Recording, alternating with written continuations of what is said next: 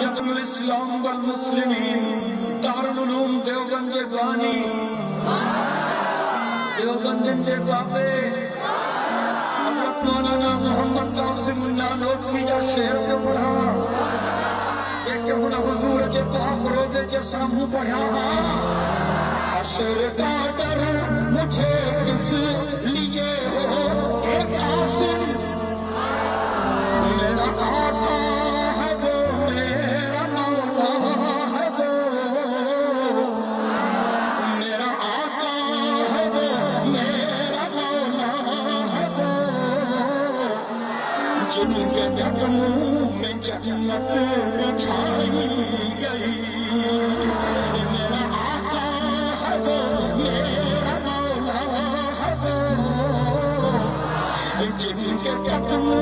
में जन्नत बिछाई गई और जिनके हाथों से कौसर लुटाया।